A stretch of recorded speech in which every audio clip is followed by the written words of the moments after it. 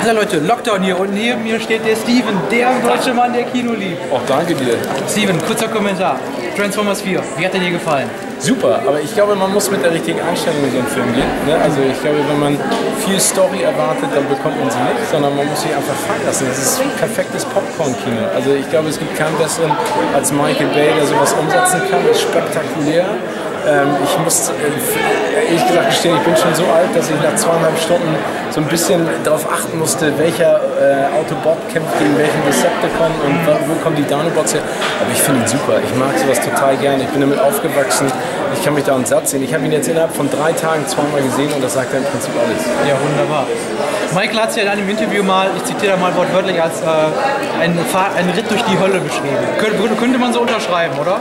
Ja, also ich glaube, für den Zuschauer ist das ja mittlerweile fast nicht nur ein Kinoerlebnis, sondern das ist ja so ein Amusement Park Ride. Also ich würde mir wünschen, dass es Transformers-Filme in Zukunft in 4D gibt, ne? damit du mit ruckeln kannst und Rauch und dann zusätzlich noch äh, keine Ahnung, Gerüche und was da alles passiert. Ich glaube, das wäre der Ultimate Ride. Aber ich, es ist super. In den Universal Studio Parks gibt es das ja. Ja, genau, aber stell dir mal vor, zwei, drei Viertelstunden hier Age of Ja, Extinction genau. äh, drehst du Das völlig durch. Danach musst du dann erstmal, glaube ich, in Reha gehen. Und mit jedem Stampfen von Grimlock dann die Erde vibriert. Genau, aber wäre das finde ich super. Also ich glaube auch, dass mittlerweile, wenn du dir mal überlegst, wo die Special Effects mittlerweile gelandet sind, ne, in den letzten oder CGI-Effekte, das ist echt bombastisch. Ne? Also diese Verwandlung, es gibt diese eine großartige Szene von Optimus Prime, wie er an der Gasstation ne, sich erst groß macht und dann redet mit, äh, mit Kate, also mit Nicola, Genau. mit Mark und mit Jack und dann sagt sie, ich check jetzt mal, ob wir hier sicher sind und sich verwandelt und dann automatisch weiterführt. Ne? Genau. Das sieht so sensationell aus. Also ich glaube mittlerweile wirklich, dass es die äh, Autobots und Decepticons gibt. Definitiv.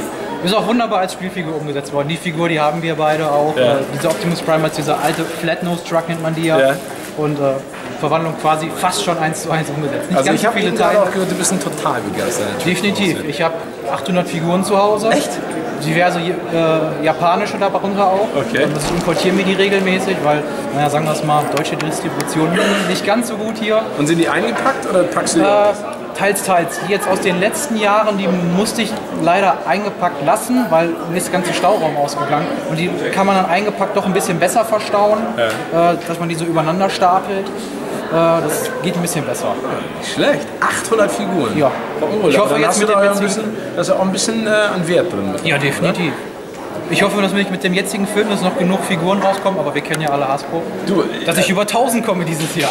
Du, aber das hat der Hasbro, glaube ich, auch gesagt. Ne? Wenn du dir überlegst, dass der erste Film hat über 700 Millionen Dollar eingespielt, der zweite über 800, der dritte über eine Milliarde. Ja.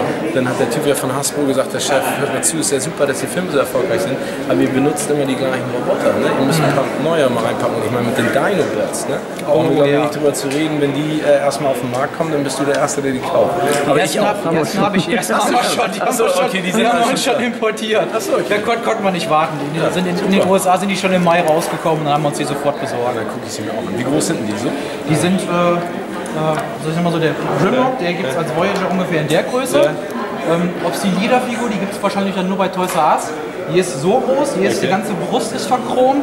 Das Ding sieht richtig, richtig nach Bling aus. Ja, okay. Und ist schon, ist schon echt der Hammer. Der hat auch seine große Keule dabei. Alles dabei, was man sich wünscht. Definitiv. Ja, wunderbar, Mensch, dann äh, viel Spaß noch. Wir fahren jetzt noch zu Toys R. Ja, siehst du, und einkaufen. Tschüss. Steven, Dankeschön. Ja, sehr gerne. Danke dir. Ich kann dir leider nur die linke, aber die kommt von. Herzen.